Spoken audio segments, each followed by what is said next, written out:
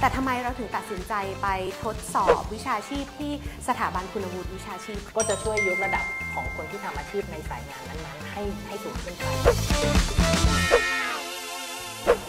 สวัสดีค่ะ พบกับแพรวหัสยานะคะ และนี่คือรายการที่นี่มืออาชีพ รายการที่จะทำให้คนในอาชีพกลายเป็นมืออาชีพค่ะ จริงๆ วันนี้ไม่ได้เรียบร้อยผิดปกติอะไรนะคะ แต่ว่าอยู่ในชุดไทย ก็เลยจะพยายามสวยงดงามตามกริยาแม่หญิงนิดนึงค่ะ แต่วันนี้ค่ะเห็นจากชุดที่แพรวใส่อยู่ เชื่อว่าทุกคนอาจจะพอเดากันได้ ว่ามืออาชีพที่แพรวจะพาไปทำความรู้จักนะคะ ก็คือมืออาชีพ ช่างตัดเย็บเสื้อผ้านั่นเองค่ะ แล้วทำไมช่างตัดเย็บจะต้องเป็นมืออาชีพที่เป็นช่างตัดเย็บ เดี๋ยววันนี้แพลวจะพาทุกคนไปหาคำตอบพร้อมกันค่ะ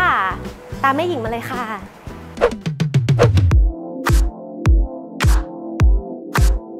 ต้องเป็นมืออาชีพของเราแน่ ๆ เลย ใช่ไหมคะ สวัสดีค่ะ สวัสดีครับคุณแพรวครับค่ะ แนะนำตัวเลยค่ะครับสวัสดีครับ ชื่อซันนะครับผมค่ะ คุณซันเป็นมืออาชีพของเราก่อนที่จะมาคุยเรื่องของแวดวงเสื้อผ้าครับผม ทำอะไรอยู่คะเนี่ย อันนี้กำลังวาดแพทเทิร์นครับ คือหมายถึงว่าแบเป็นบที่จะใช้ในการตัด เราค่อยไปลงผ้า ใช่ครับ แล้วตัดออกมาอีกที ใช่ครับ คุณซันทำไมถึงมาสนใจในเรื่องของการเป็นช่างตัดเย็บ จริง ๆ เท้าความไปเลยนะครับ ก็ค่ะคือคุณน้า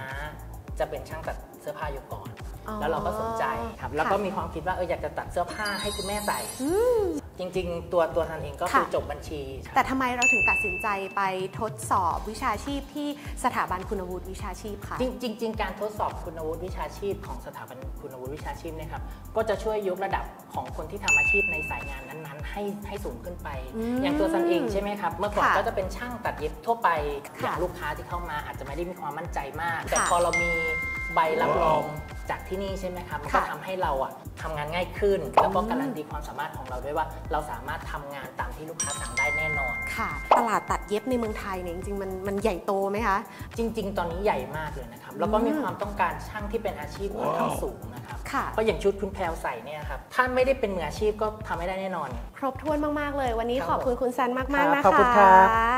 ชื่อว่าคุณผู้ชมทุกท่านนะคะ น่าจะได้รับความรู้ความเข้าใจเกี่ยวกับเรื่องของมืออาชีพ ช่างตัดเย็บกันมากขึ้นนะคะ เพราะฉะนั้นนะคะสถาบันคุณวุฒิวิชาชีพ ยังรอมืออาชีพทุกท่านอยู่ค่ะ มาเป็นครอบครัวเดียวกันนะคะ เพื่อที่จะยกระดับตัวท่านเอง และยกระดับอุตสาหกรรมการแต่งกายไปพร้อมกันค่ะ และสำหรับตอนนี้มีข่าวดีด้วยนะคะ เพราะว่าสถาบันคุณวุฒิวิชาชีพ เขาเปิดอบรมออนไลน์อยู่หลากหลายสาขาวิชาชีพเลย สามารถเข้าไปดูรายละเอียดได้ค่ะที่ Facebook สถาบันคุณวุฒิวิชาชีพนะคะ หรือ